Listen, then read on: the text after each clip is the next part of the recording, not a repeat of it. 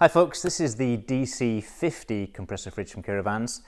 Uh, as the name suggests, it's 12 volt DC, 50 litres in volume, and this is a more economy fridge, um, so it's going to save you a bit of money compared to buying the Dometic or something like that. So uh, it's a lovely package, it's fully encased in metal, so it's very sturdy. It's got a nice kind of brushed aluminium nickel finish on the door. It's got your control panel on the door here as well. I've hooked it up to a battery if I just switch that on there, so obviously being only 12 volt, um, if you've got a sort of average battery like an 80 amp hour up to 100 amp hour, a fridge like this is probably going to run two or three days in your camper van without needing a charge. Obviously there's a lot of variables, depends what the temperature is, depends how good your battery is, but that's a rough approximation.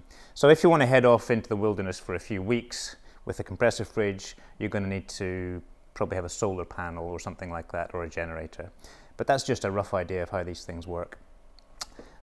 So basically it's turned on, you hit that button there and we've got a scale from 0 to 10 on the front, 10 being the warmest setting, 0 being the coldest. So from my brief play with this I've found that 3 is round about where you start to make ice in the ice box. So it sits there at 3, and then the 4 signifies what temperature it's at now because it's quite cold in here. So open it up with a simple slide catch there, fairly standard inside. They've saved a bit of money on this fridge by not including lots of extra plastic, sort of salad crispers and that kind of thing. So you've got lots of usable space. This um, shelf, you can put it whatever height you want. Up here we have the freezer compartment. This is a, a simple metal freezing element for putting your frozen stuff in. It's got a removable drip tray underneath. Uh, this door does pop on and off.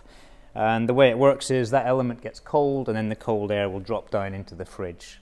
In the door, you've got a couple of compartments there. These are removable for easy cleaning. You've got a magnetic seal all the way around the door. So it's really good, um, it's a good layout, very simple to use. Let's shove some stuff in just to give you an idea of how much it holds. So we've got eight cans of drink, another four beers, six bottles of water. You can stick a large water in there, bottle of wine. I have tested this with the big four pint milk and it doesn't fit in here, so you've got to go for the slightly narrower two pint one, and you can fit a couple of those in there. So, plenty of accommodation in it. Around the back, it's very similar to any other 12 volt compressor fridge. You've got your compressor up here, you've got a plus and a minus connection.